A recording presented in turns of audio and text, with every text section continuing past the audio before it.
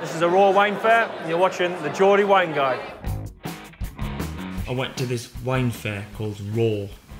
All the wines there are quite unique and they're all a little bit different from the wines you might find in a supermarket. If you want to be natural, you've got to be biodynamic or organic, and you've not got to spray the vines with uh, loads of chemicals and shit like that. Using as little additives in the winemaking process as you can. So just putting grapes in and getting wine out. Less filtering. So filtering the wine too many times. Here you'll find wines that are a little bit cloudy.